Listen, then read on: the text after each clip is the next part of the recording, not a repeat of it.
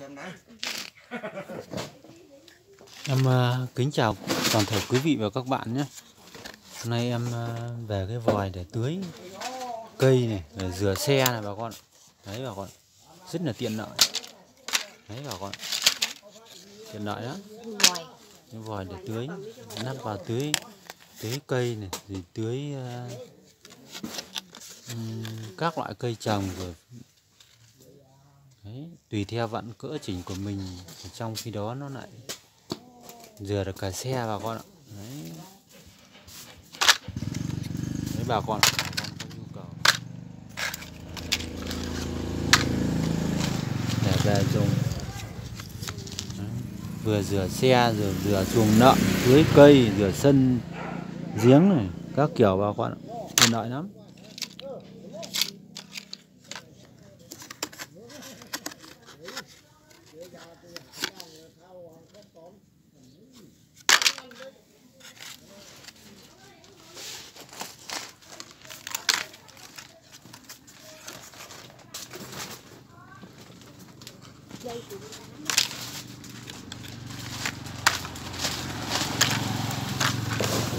Đấy, bà con.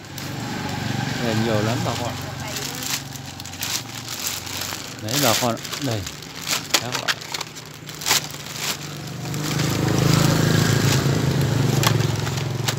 Mấy trăm cái bà con. Số lượng cũng nhiều. Giá hợp lý cây trồng này. Phun cây trồng rửa xe này, rửa chuồng lợn này rửa sân giếng này. Đấy.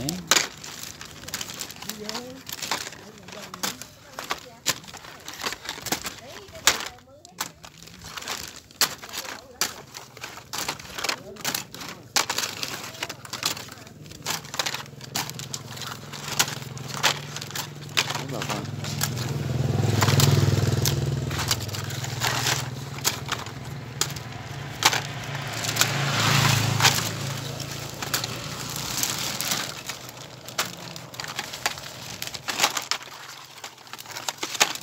Về số lượng rất lớn rồi họ mấy trăm cái này.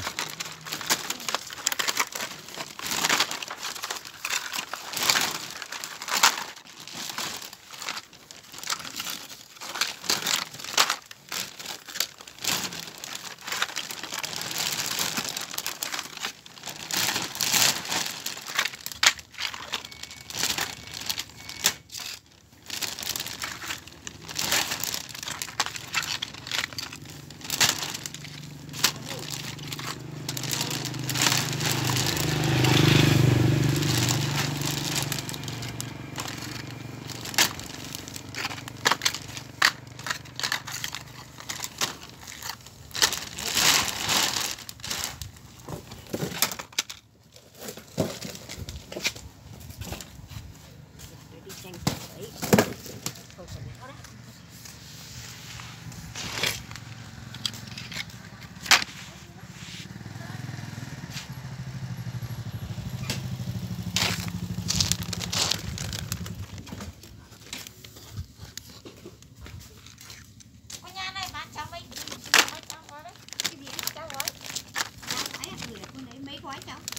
Có cái loại cháu gói mà nhân ờ, trong nó có cái nhân thịt gà không cô? Cái cháu à, hình như là có cháu cũng được đấy. Cô đâu à? Thế thì lấy hai hai gói. Được, có lại thì- có hai gói. Vậy, vậy, vậy, vậy. Em chào các bác nhá.